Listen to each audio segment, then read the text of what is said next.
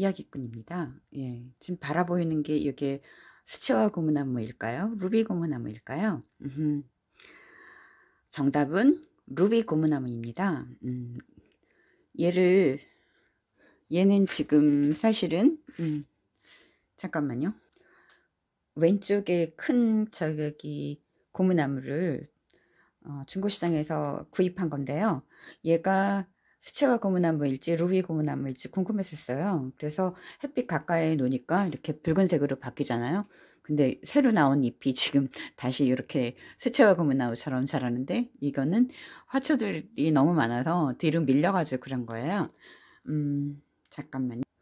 진짜 오늘의 그 주제는 이 루비 고무나무 얘를 어, 일단 제가 당근마켓에 판매하려고 어, 너무 지금 화초들이 많아서 자꾸 이렇게 이동하다가 막 그 도자기 화분은 깨트려 버리고요. 가벼운 게 중심을 잃어버리면 왜냐면 다른 거 두세 개 들고 이동하다가 옆에 지금 잘못하면 그러네요. 그래서 아무래도 안 되겠어서 예, 여러 개인 거는 이제 음, 네, 지금 거래 제가 하고 있는 곳에 음, 올리려고요. 그래서 얘는 보면 처음에 그 좀 화초들 사이에 놔뒀을 때는 수채화 고무나무처럼 바뀌어 버리더라고요. 그러니까 제가 구입할 당시에는 이렇게 작은 루비 고무나무였어요. 붉은색이었는데 음, 여기 여기 있네. 이렇게 붉은색이었거든요. 붉은색이었는데 어, 이렇게 자라다 보니까 어 수채화 고무나무인가? 그랬더니 그게 아니고요. 그리고 또 있어요. 제가 잠깐만 이게 바로 수채화 고무나무인데 얘가 뭐 지금 색깔이 붉은색으로 보일지 모르지만 이게 노란색입니다. 노란색. 이게 수채화 고무나무거든요.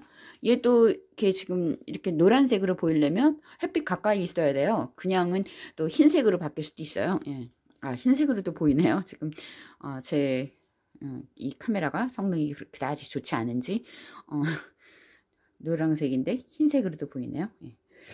그래서 여러분 그 수채화 고무나무든 루비 고무나무든 무늬가 예쁘려면 아니 그리고 나머지 화초들도 정말 햇빛이 가장 중요한 것 같아요 제가 볼 때는. 왜냐면 지금 제가 지금 4주? 한 달 만에 왔는데도 애들이 뭐좀그 물이 모자라서 시들시들 할 수는 있지만 어, 지금 얘 보면 시들시들하게 보이진 않죠? 예. 그래서 한 물 줘야 돼요. 지금 엄청나게 얘네들이 지금 어, 근 한 달 됐거든요. 물을 먹은지. 예, 물 줘야죠. 물 주기 전에 지금 루비 고무나무 어, 얘를 이제 떠나보낼 거니까 예. 어, 올려놓으면 금방 나가더라고요. 그러니까 뭐 올려놓고 예. 헤어지기 전에 기록으로 남겨야죠. 고마운 루비 고무나무 예. 미안하기도 하지만 이 도자기 뭐 토분 이거 이거는 되도록이면 다 제가 이제 보내려고요. 이제 저도 오른쪽 손목도 갑자기 아프고 그런데 지금 확장형 거실이다 보니까 음, 이걸 이동해서 물을 줘야 돼요. 그러다 보니까는 어, 두 개 들고 막 이렇게 욕심 부리다 보면 오른쪽 손목이 없어서 얘를 떨어뜨려서 깨트릴 수도 있고 지금 이동하다가 이렇게 밑에 아이들이 균형을 잃어서 제가 건드려가지고 엎어져서 깨지면 엄청 청소해야 될 일이 많아서 아무래도 저는 전부 플라스틱 화분으로 바꾸려 합니다. 예.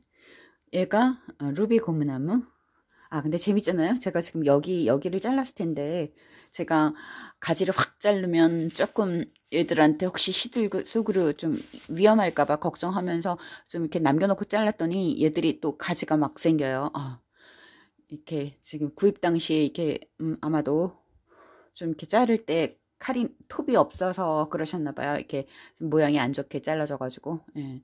사실은 얘네들을 이렇게 싹둑 잘라서 다시 가지를 받아서 지금 예쁘게 만들까 생각하는 중이거든요. 그러니까 얘네들도 지금 일단 잘하고 있지만 네. 봐봐요. 지금 요 엄마 모주에서 이렇게 나온 얘거든요. 얘도 좀 잘 자라면 지금 이거는 어, 물산목해서 잘 성공해서 뿌리 저번에 아마 얘, 얘를 동영상을 찍었는지 모르겠는데 흑산목으로 바꾸면서 얘가 이제 뿌리가 분명히 튼튼해졌을 거거든요. 여기 바싹 말랐잖아요. 아, 보이나요? 바싹 마른 게 지금 전부 다 바싹 말랐어요. 얘네. 얘네들도 그렇고. 지금 4주일 한 달 이 정도의 물을 다 못 먹었기 때문에 아, 영상이 깨끗하게 안 보이네. 예. 그래서 혹시라도 얘, 얘는 음, 어떤 호야인데? 이름이 갑자기 생각 안 나요. 이 호야의 입고지를 해본 거예요. 근데 살찌? 어, 살아날지? 음, 쌀지는 잘 모르겠습니다. 어쨌든 오늘 주제가 장황하긴 한데 루비 고무나무도 어, 햇빛 멀, 햇빛보다 멀리 있으면 이 수채화 고무나무처럼 이렇게 바뀐답니다. 그래서 햇빛 가까이에 놔둬서 좀 붉은색으로 바뀌었는데 제가 또 멀리 놔둬서 다시 수채화 고무나무처럼 바뀌었죠. 예. 그러니까 여러분 음, 창가 쪽 어, 얘네들이 뭐 그 뭐지 그러니까 옥상 정원이나 무슨 농가 정원, 농가나 뭐 전원 주택에 대처럼 밖에다 내놓고 키우진 않지만, 어, 물론 그렇게 밖에서 키우면 더 좋을 수 있겠지만요.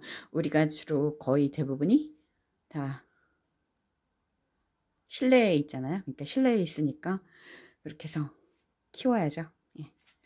어쨌든 햇빛이 제일 중요하고요. 그 다음에 물. 그렇지만 물은 너무 주면 오히려 과습으로 죽으니까, 음, 제가 보면 2주일이나 4주일 만에 주거든요. 그럴 때 저면 관수로 주고 어, 창가 쪽 가까이는 더 물이 빨리 마르니까 제가 맨날 얘기하는 그, 그 저면 관수 아니 그다음에 물이 조금씩 나오는 조금 자동 관수처럼 되는 그거를 꼽아 놓고 가요. 그러면 얘들이 죽지는 않아요. 예. 하여튼 제가 너무 늦게 오면 얘들이 그럼에도 불구하고 목말라서 죽어버립니다. 예. 그러기 전에 빨리 와서 물 줘야죠. 감사합니다.